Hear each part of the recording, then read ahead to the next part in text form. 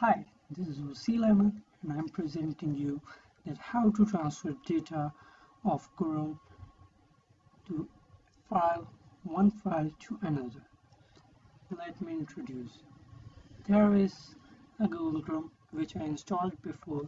You can see there I'm opening a YouTube channel and you can see that when I'm running a channel of YouTube you see that I have in C drive just 858 MBs left. So I'm running a video of YouTube. You can see there was playing right now and you can see there was decreasing the size.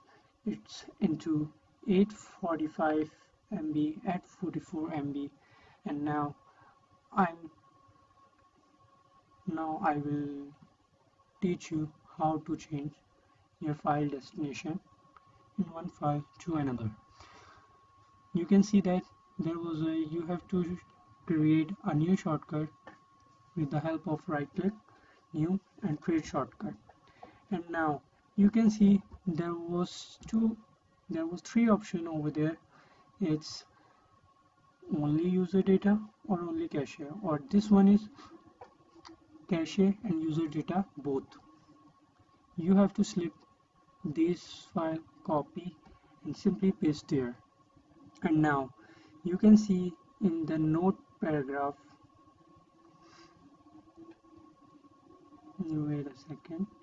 You have to create a first all you have to create a new folder which you want to transfer its data so I'm making a folder with the name of Chrome temp.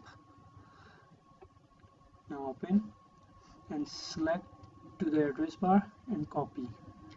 Now you can see in the note replace your x your temp folder location with your file location between in these marks. Okay? Now I'm selecting these x2 temp location folder. Select simple right click and paste. Now select this right click and paste. Now next and finish. Now you have done your temp user data and cache files. Now I'm opening uh, Windows of Google Chrome Uh, you can see it was looked like a new Chrome new ever installed in your PC so now you can run any of files or any of websites. It may its Chrome its cache or data will be transferred into a D drive. Thank you so much. Thanks for watching and please subscribe and like my channel. Thank you